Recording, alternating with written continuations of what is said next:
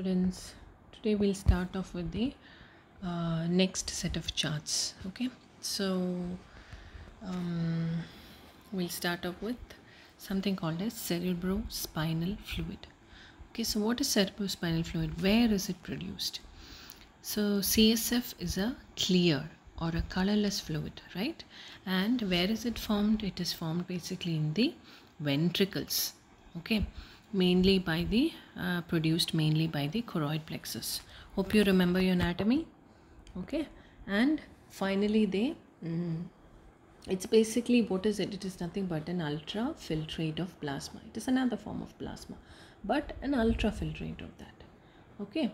So uh, where is it uh, produced? It is basically produced by the ventricles the cerebral ventricles okay? And it lines it is present everywhere. In the spinal canal it is present. In the subarachnoid space. Okay?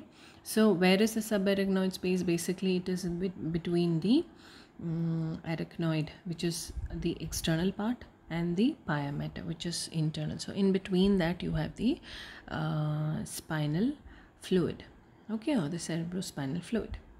Right? So basically it is present everywhere mainly for lubrication to it acts as a shock shock absorber. Hmm? so these are the my functions. Right? Now let's go into a proper subject. Okay. What is a procedure called when the uh, cerebrospinal fluid is extracted? It is nothing but a lumbar puncture. Okay. So what is the most common site involved? It is usually um, l3 l4 or l4 l5 okay so that is the most common area where uh, lumbar puncture is done right? So uh, what is the needle used? It is a lumbar puncture needle. This is a long needle okay? It is very easy to identify a slender needle so that it can easily pass in through the um, ligaments through the dura mater and finally enter into the subarachnoid space okay so uh, for this uh, this remember you can see it is a small it is a long needle but a very thin needle. Usually what we use is a 22 gauge needle. Okay? So i'm giving you a small assignment here. Uh, we'll, we'll go later. Then i'll tell you. Okay? So what is the procedure? It is basically the, uh, the patient is lied on one side. Okay? He lies on one side he or she lies on one side on either of the side okay? And then uh, you identify the L3 L4 vertebrae or the L4 L5 and gradually you insert the needle under all aseptic precautions okay? And then you um, pass through the ligaments and the dura mater and then you enter into the subarachnoid space. So how do you know that you have entered the subarachnoid space? That there will be a loss of resistance. All these things you will learn in detail when you reach medicine but just just just brushing through. Okay so what i need you i want you to find out is which is the level where spinal cord ends? Okay where is that level? Then another thing what is the position used for a lumbar puncture and why they use that position? Okay so these two you have another assignments coming up but these two are the assignments as of now. Okay and at the end of the class you send all these assignments together to your mentors. Right? Now let's go back. So what is the next procedure? So this is how a uh, spinal fluid is withdrawn. Okay so once you reach the um, uh, subarachnoid space you will feel that loss of resistance okay? So gradually you will remove the stylet then the first thing what you're doing is you need to identify the pressure. What is the cerebrospinal fluid pressure? So immediately you attach a manometer okay? And then that pressure is called as the opening pressure okay? And that opening pressure is expressed as millimeters of water not the normal sphygmomanometer pressure okay? That is millimeters of mercury. This is millimeters of water okay? So uh, that is the initial part. Then we go gradually. This is another picture okay? So what all things you're supposed to know? Where is a csf produced? What is the procedure called right? And what is the lumbar puncture needle? What is how long it is? It is 10 centimeters and long and it is 1 to 1.5 centimeters wide right? And usually we use 22 gauge needle okay? And you should know what is the procedure. Briefly just know what is the procedure. So now that you have detected the pressure the next thing is you need to uh, segregate the bottles because you at the end you are sending all these things for investigations right? So the first bottle which you use is usually the first few drops is taken for microbiology. Why? Because that is mm, it should uh, to avoid or to minimize contamination right? Because we are using we are why why do we send it for microbiology? Mainly for culture right? To identify the organism to grow the organism. So for that you require a, um, a less contaminated specimen then the next one, the second tube, you usually send it for biochemical and other parameters like a TC or a DC. All these things are sent. Then the third tube, that is a third, um, third, uh, what third part which you're collecting, that is sent for cytological processes. Okay, so other further processing. So usually the amount collected is between three to five ml. Okay, you can divide it accordingly depending on each. Uh, each professor or each doctor has their own style right? So usually this is the uh, pattern which is followed. The first one usually goes for microbiology. The second part usually goes for chemistry. Either it can be glucose or proteins. And the third part uh, comes for uh, tcdc that, that is uh, total count or differential count and it can also go for cytology. Right? Next so what are the indications for a lumbar puncture? Do you do lumbar puncture every time? No, you can't do it, right? So it is used, it is done mainly for, you can divide it into two parts. One is you have diagnostic purposes and then you have therapeutic purposes. Diagnosis in the form of, in cases of suspected cases of meningitis or encephalitis or when you're thinking of any, any form of malignancy when there is, for example, if you're thinking of case of leukemia okay? So if you are suspecting meningeal involvement or in cases of subarachnoid hemorrhage but this is usually not the first line of treatment but it can still be done. Okay?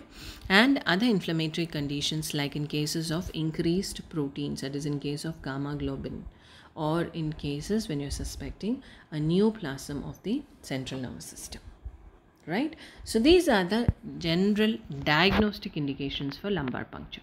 So you have therapeutic indications also. One is to reduce the cerebrospinal pressure the fluid pressure to reduce the pressure. Why? Usually that is done in a very controlled manner okay?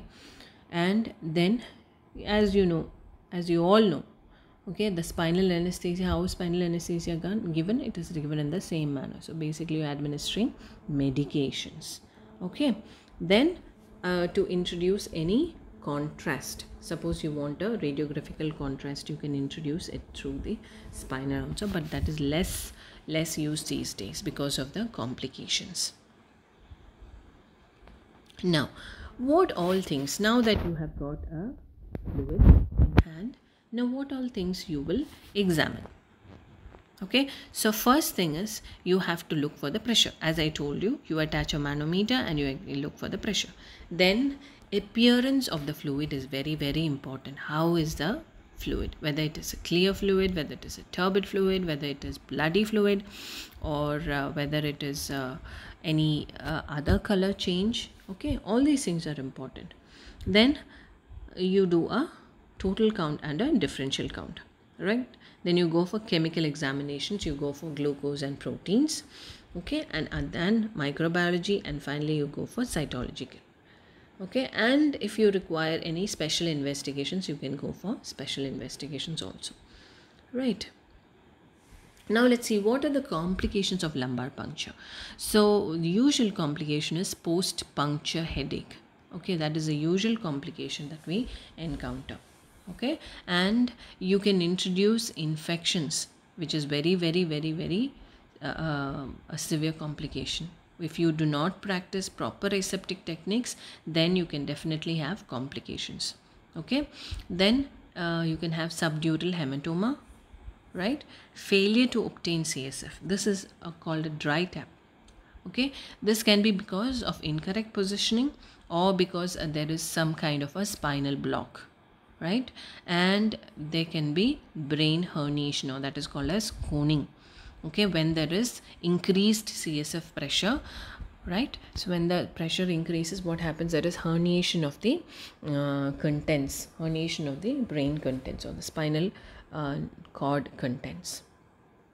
So these are generally the complications of lumbar puncture. You should know all these things. You should know the indications right? What are the complications? What are the contraindications? What is the composition of csf all these things are very important for you right? Now what are the contraindications? When will you not do a lumbar puncture? When there is raised intracranial pressure when you have cardiorespiratory compromise or any form of bleeding diathesis or any form of local infection at that particular site you will not do a lumbar puncture okay now now that you have CSF in hand, now what all things you should do? You should examine CSF immediately. There should not be a delay in CSF examination. Okay, so if you get the sample immediately within 30 minutes, the report should be done.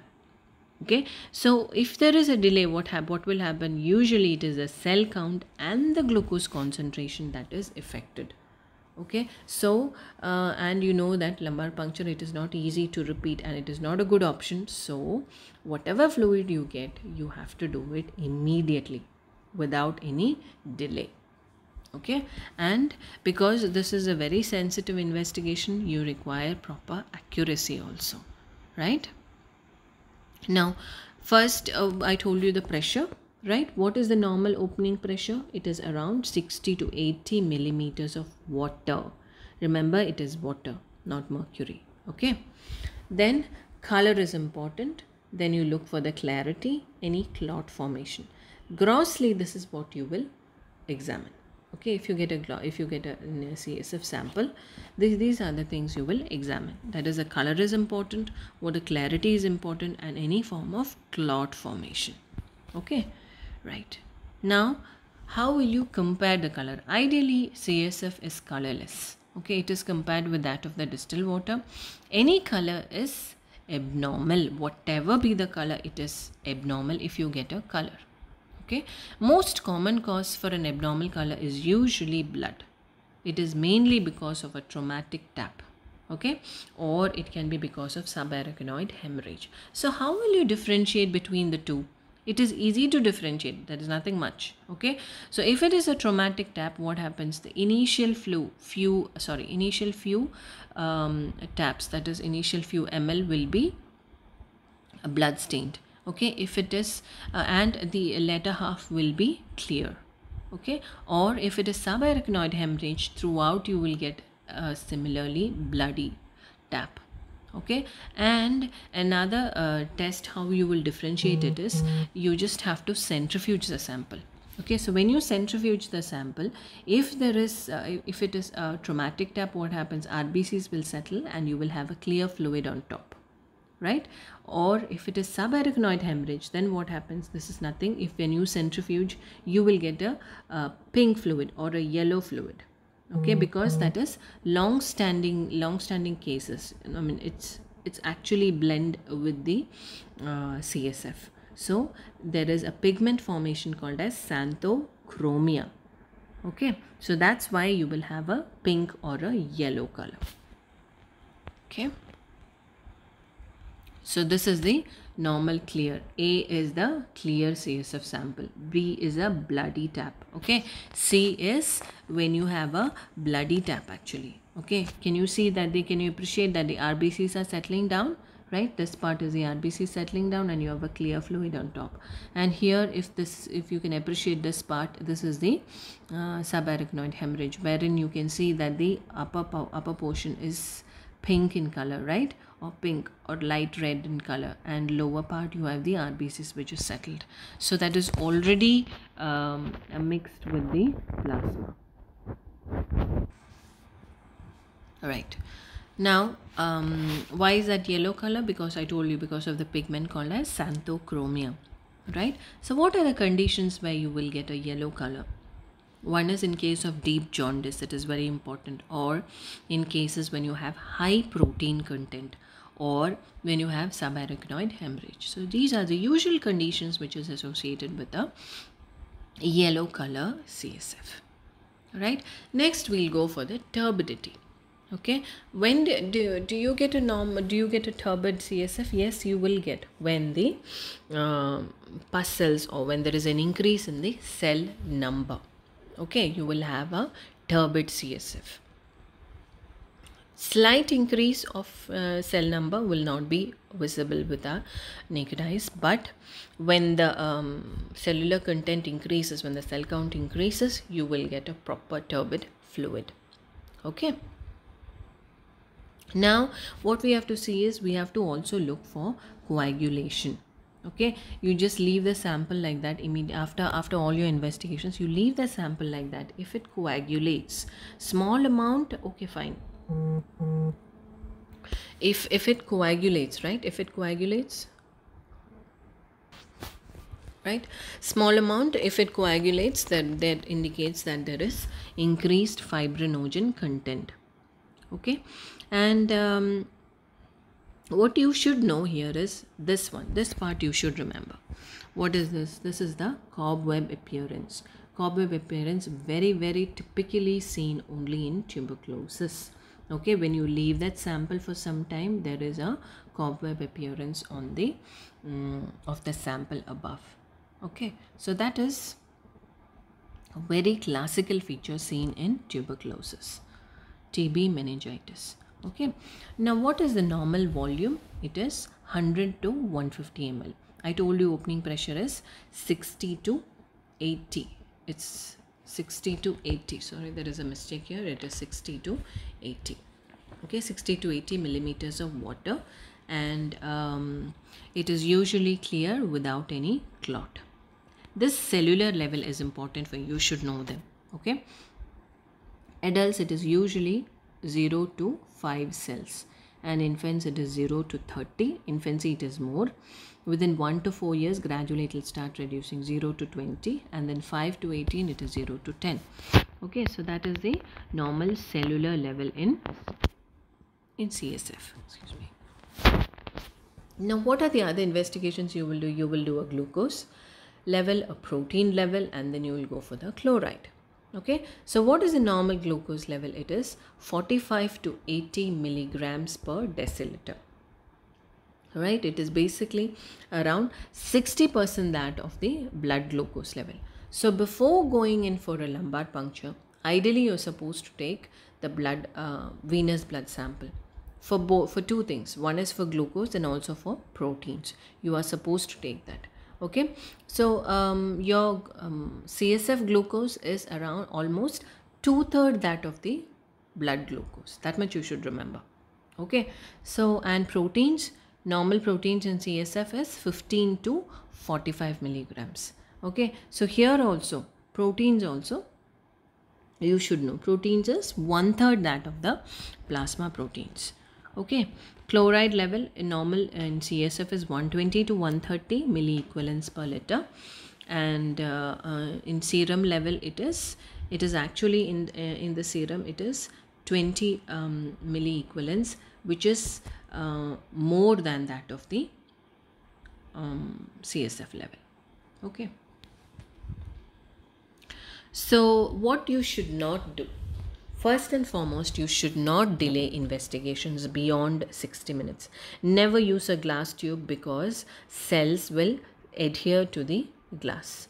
Always take venous samples before okay for both uh, proteins and glucose i told you earlier you need to compare it with the peripheral uh, glucose and proteins okay and if there is a delay you can refrigerate the sample for culture but not for the rest of the investigations okay right now there is something called as pleocytosis. What is pleocytosis? It is nothing but an increase in the cell count in CSF is called as pleocytosis. Right? We told you that immediately you have to examine the um, blood sample, right? Oh, sorry, the CSF sample, right?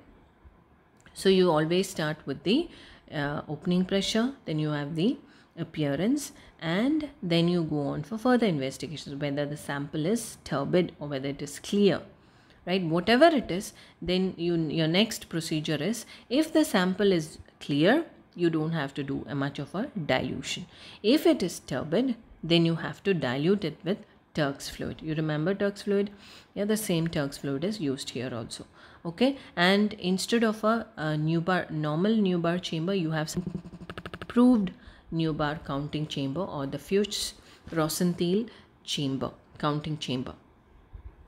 Okay, that is the one which is normally employed for CSF cell count, right?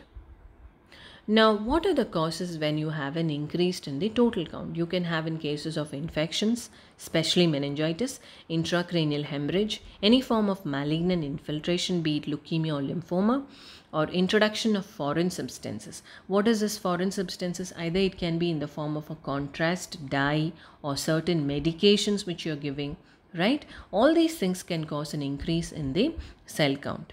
Guillain-Barré syndrome, multiple sclerosis, all these things are causes for mm, increased cell count right?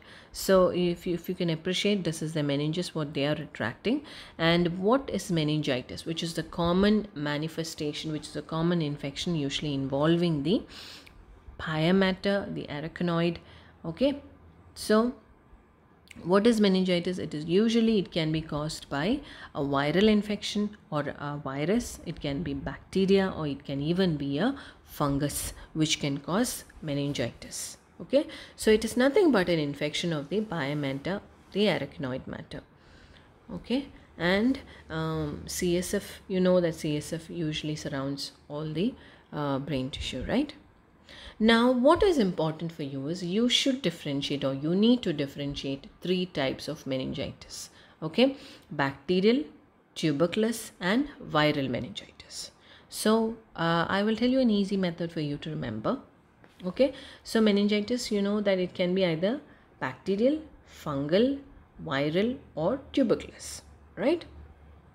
So, invariably, you should remember that neutrophils are elevated in cases of pyogenic meningitis or in cases of bacterial meningitis, okay, and fungal meningitis.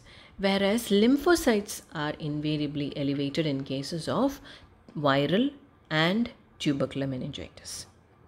Okay, you can have mixed in cases of TB. You can have sometimes neutrophils and lymphocytes, but usually it is the lymphocytes which is elevated okay? And you have a mixed mixed when you have both neutrophils and lymphocytes elevated in cases of fungal or in case of TB or in cases of bacterial infection.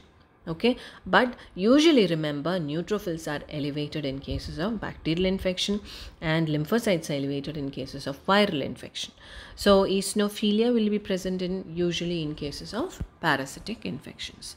Okay now, what is the normal protein level in CSF? I told you it is 15 to 45 milligrams, right? Uh, and it is very sensitive, but it is not a specific method. How will you detect proteins? It's usually detected by turbidometric method. Okay, and um, so when there is contamination or when it when there is a traumatic tap, you will have false elevation of proteins. Okay. Then you have something called as uh, Pandy's test, Pandy's test or Pandy or whatever. That is basically nothing for to determine the globulins which is present. Okay, for that you use phenol. The things are not important for you, but at least you should know them. Okay. Simultaneously, at the same time, uh, you have to detect the proteins which is present in the peripheral blood also. That's why I told you earlier you have to take one hour before the sam before the procedure. You're supposed to take peripheral blood for both proteins and for um, what was the other one I told you? Remember, remember. Think and tell me. Yeah, right. Glucose. Okay. Fine. So when will you get increased proteins in cases of meningitis, spinal cord tumor, multiple sclerosis, Guillain-Barré syndrome and hemorrhage? Okay, all these conditions you will get an increased proteins in the cerebral spinal fluid. Right. Next we'll go to glucose. What is the normal glucose in CSF? I told you no just now we finished all these things. You should be telling me. I'm no I'm not going to repeat all these things for you. Okay. So remember that here uh, the glucose is 45 to 80 milligrams normal glucose right?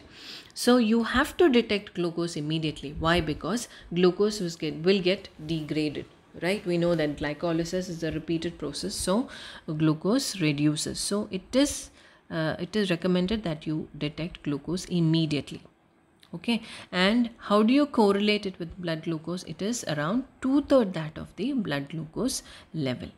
Right? And invariably it is reduced in uh, pyogenic uh, infections in cases of tuberculosis. Why? Because all these creatures all these organisms they utilize sugars. They require sugar right? So um, that is another clue for you. Okay? In cases of pyogenic and in cases of tubercular meningitis glucose level will be low but it will be normal in cases of viral meningitis. Right? Okay? So this is an easy chart for you to remember. Okay? In pyogenic infections or pyogenic meningitis the appearance of the uh, csf will be turbid. Leukocyte count will be more. You will have more number of neutrophils. Neutrophils will be more here. Neutrophils will be more proteins are markedly increased. There is an increase in proteins. Sugars will decrease. Bacteria will utilize all the sugars. Okay? What additional investigations you will do? You will do a gram stain right? To find out exactly what the organism is you will do a culture and latex agglutination. Okay? So these are the this is the chart for acute pyogenic or bacterial meningitis Next, we'll go to tuberculous meningitis. Again, here the color can be, it can be clear or it can be cloudy, one thing. And what is important for you is cobweb, cobweb appearance. Don't forget that. Cobweb is seen, seen in, very typically in uh, TB meningitis. Okay, and here uh, remember you can have uh, either a lymphocyte or a neutrophil or both can be elevated and invariably proteins will be elevated. Okay glucose plus minus definitely it is reduced but not as reduced as bacterial meningitis. Okay what all additional investigations you will do? You will do acid fast bacilli staining. Okay that is Zn staining. You will do a culture and then you will do PCR polymerase chain reaction. These are the additional investigations you will do for um, TB meningitis when you're suspecting TB meningitis. Okay then the third one is viral okay let's go to viral. Here remember the appearance of the uh, fluids usually clear. Or it can be cloudy not much but and here remember lymphocytes will be more it will be more. And you will have increased protein levels. Glucose level will be normal. Okay? What additional investigations you will do? You will do a pcr to identify the organism. Now I'll ask you a question. What are the viruses which will cause meningitis? You have herpes simplex, enterovirus, herpes zoster infections, right? And tuberculosis, we know it is Mycobacterium tuberculosis. Pyogenic, it can be um, pneumococci, meningococci, hemophilus, or streptococci. So these are the general infections, general organisms which will cause infections. Okay so in one chart i have included all these three. Okay pyogenic tb and viral. It is easy for you to remember this way right? So um, this is a first chart right? Um, with the positive features. Positive features i have highlighted in red. Okay so what is the chart? Interpret the chart right? So how will you interpret the chart here Cobweb is absent. Cellular count is high. Neutrophils are more. So that itself has given you a clue. It is acute pyogenic meningitis. What is the cause of this condition? It is usually bacteria involving. What are the organisms involving? You have pneumococci, meningococci, hemophilus, streptococci. Okay, other organisms. What are the clinical manifestations? How do the patient usually present? Patient presents with fever, okay vomiting headache neck stiffness. These are the usual clinical features. Right? Now next next shot. See remember here there is another important clue for you. you. Have cobwebs which are present. Cobweb when cobweb is present it is usually tubercular meningitis. Very good okay? And then you have lymphocytes here. Lymphocytes predominate lymphocytes predominate right all these are giving you a clue that um, you have you are dealing with a TB meningitis. So what is the diagnosis? What are the modes of infection? What are the other tests that will help in your diagnosis? All these things are dealt, right? Then the next one is chart 3. Chart 3, what is the clue? One thing is sugar. Sugars are normal. Okay. Cell type lymphocytes are more. So that will give you a clue that this is viral meningitis. What is the type of organism? What are the other tests that will help? So all these have been dealt. Okay. Now what I want you to do is right. So what I want you to do is this is chart number one. Okay. An eight year old boy brought with complaints of fever, vomiting, neck rigidity for one day and an LP was done, lumbar puncture was done. Okay. So based on this finding, okay i want you to write the diagnosis. This is chart number one. What is your diagnosis?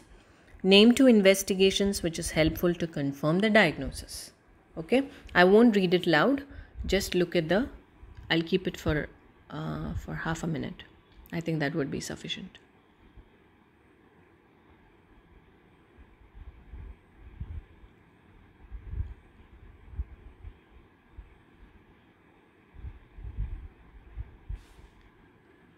right? Clear? I'll move on. Okay so what are your questions? What is the diagnosis? Name two investigations which will help to confirm the diagnosis. Right? Fine. Let's go to chart number 2 this is chart number 2 a 10 year old girl brought with complaints of fever and vomiting of 2 days duration. Okay patient is having fever and vomiting on examination, she is febrile. She is and there is neck rigidity. Okay, so a lumbar puncture was done, and these are the findings. There is appearance is turbid, opening pressure is 250, proteins 650, sugars 10, chlorides 400, microscopy shows 400 cells, and predominant are polymorphs. So, what is the question? What is your diagnosis? What are the causative agents? So what is the diagnosis and what are the causative agents? So this is chart number 2. Okay, let's move on to chart number 3. A 10-year-old girl brought with complaints of fever and vomiting. And on examination, again she had uh, febrile and neck rigidity. An lumbar puncture was done. So these are the findings. Appearance of the CSF was clear. Opening pressure is 250 millimeters of water. Proteins 90, sugars 80, chloride is 400. Microscopy shows 100 cells and predominant are lymphocytes. So what is the diagnosis? That's question 1. And what are the causative agents? Right? So you have three charts okay so at the end i want you to um, write the answers for these charts plus the other two questions which i asked in between. Okay? I won't repeat the question right